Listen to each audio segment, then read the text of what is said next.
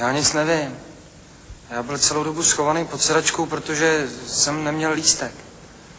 Akorát když mě kluci polili hlavu vínem, tak jsem se trochu naštval a vyhodil jsem tu lahev z okna, to přiznávám. No. Protože, aby se dál nemohli opíjet, že jo. Jestli jsem teda seděl na nějakém občanovi, jak tady povídala ta světkyně, tak to teda bylo ve Vaplostě, protože v kupě prostě nebylo žádný místa, no. Já bych chtěl zdůraznit, že se chci léčit z alkoholismu hned, jak se dostanu na svobodu. Kdybych teda byl propuštěný, tak bych třeba hned nastoupil ústavní léčbu. My jsme jenom skandovali a fandili. Vůbec nás nenapadlo, že mimo stadion by to mohlo být veřejný pobuřování.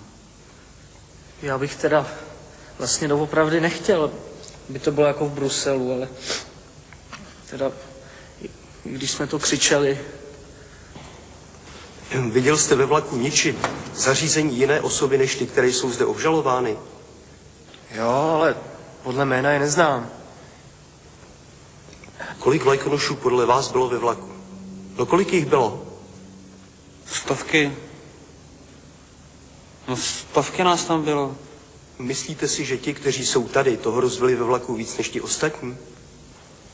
Ne. Takže podle vás by mohla být stíhána většina vlajkonošů, kteří jeli tím vlakem. Ano, určitě, asi ano.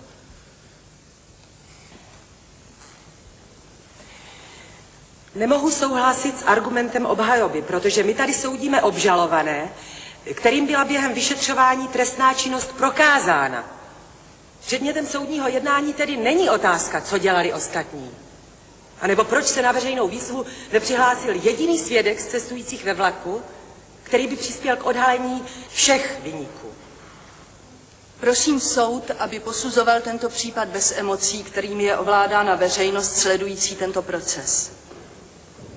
Upozorňuji také na to, že vinu na tom, co se stalo, nesou mnozí lidé, kteří tomu mohli zabránit. Bylo to dokonce jejich pracovní náplní, měli to jako svou povinnost, ale oni umožnili těmto mladým lidem požívat alkoholické nápoje a jednat tak, jak jednali a za co stojí před soudem.